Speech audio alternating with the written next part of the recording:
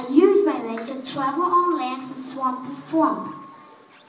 And I have both lungs and gills to help me breathe out the water and the land. But I use mainly my lungs so that I can stay on land for long periods of time. And I and I also have special skin to keep me moist on land. Now I'm also a carnivore and I eat small fish and insects. And I still have some fish parts in my body, so as much as I like being on the land, I still have not fully evolved into a true amphibian.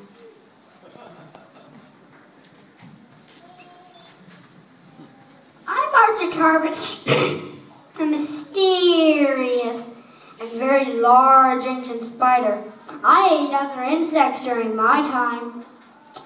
I love to dine on wasps. I live in the Carboniferous period, while other insects like the giant dragonfly like to eat me.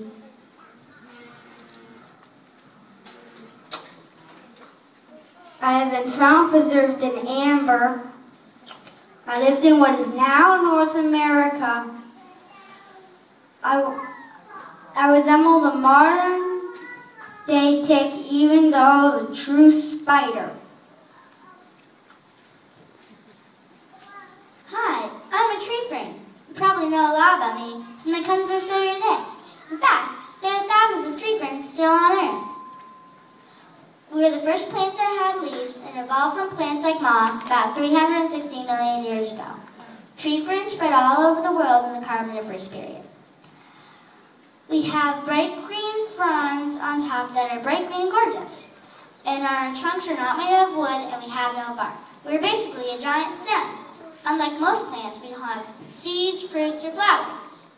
Our underground stems help us soak up the nutrients in the soil. And some of us are endangered, so protect us so we can live another 360 million years.